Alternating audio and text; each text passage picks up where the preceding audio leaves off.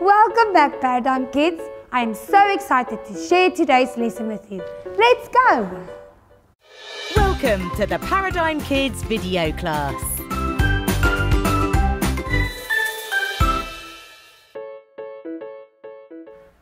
Can you remember what weather means?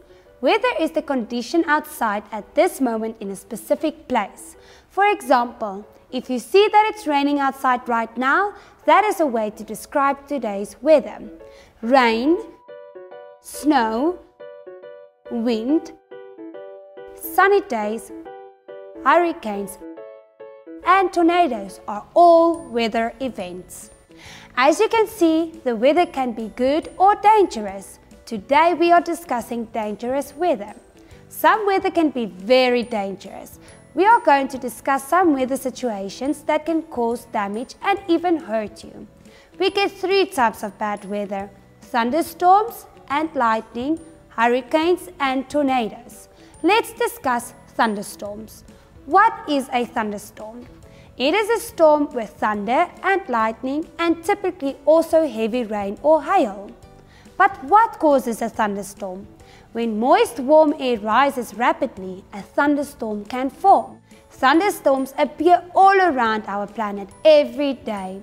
Thunderstorms can occur all year and all hours, but they are most likely to happen in the spring and summer months and during the afternoon and evening hours. Do you think thunderstorms are dangerous? Yes, they are. Despite their small size, all thunderstorms can be dangerous. Lightning kills and injures more people each year than hurricanes or tornadoes.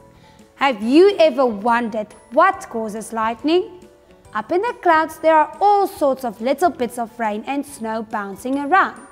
When those pieces bump into each other, they develop an electric charge, which is just like when you drag your feet across the carpet and get a shock, only way more powerful.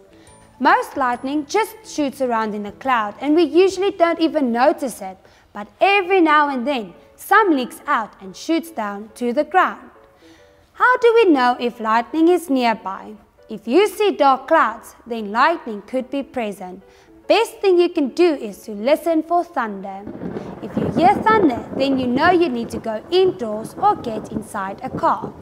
Don't be outside where lightning could strike. Can I tell you an interesting fact? You can tell how far away a storm is by counting the number of seconds between when you see the lightning and when you hear the thunder. Take the number of seconds and divide it by 5 and that will tell you how far away the storm is in kilometers. For example, if you counted 10 seconds between the lightning and the thunder, the lightning is 2 kilometers away. How cool is this? In the next lesson, we will discuss hurricanes. I hope you enjoyed this lesson. That's it for today, Paradigm Kids. Please remember to share what you have learned. See you next time.